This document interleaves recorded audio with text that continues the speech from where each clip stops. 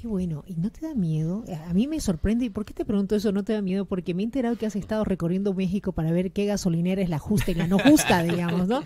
¿No es cierto? Recibimos muchas amenazas. Oye, pero muchas claro. amenazas. ¿Cómo te has atrevido a hacer eso, por Dios? Muchas amenazas, el, el pues con ir con una garrafa para revisar si nos dan litros completos. Y digo, sabemos que a veces, eh, bueno, por lo menos en México, las gasolineras eh, pues están como muy apegadas al tema del narcotráfico. Claro. Entonces sí es algo muy riesgoso. Eh, pues los en- guachicoleros. los guachicoleros. Claro. Entonces, hemos tenido distintas amenazas eh, en las elecciones pasadas con, con los candidat con los candidatos a la presidencia.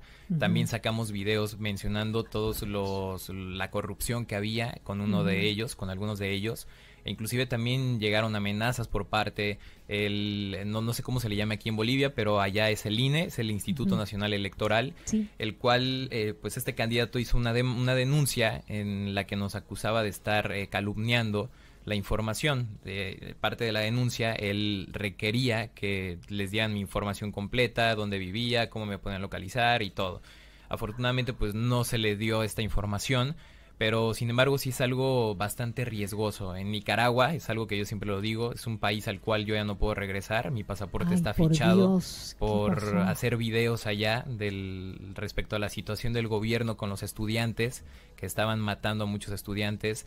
Eh, hace unos meses fuimos también a, a Venezuela a documentar todo lo que se está viviendo, la situación tan tan complicada que está pasando este país. Oye, ha sido complicado lo de Venezuela, ¿no? Muy complicado, muy complicado sí. el, el saber que un médico gana eh, 20 dólares al mes. 20 dólares al mes es lo que gana un médico. Sí, sí. Y un champú te cuesta 15 dólares. Entonces. ¿qué es lo que haces?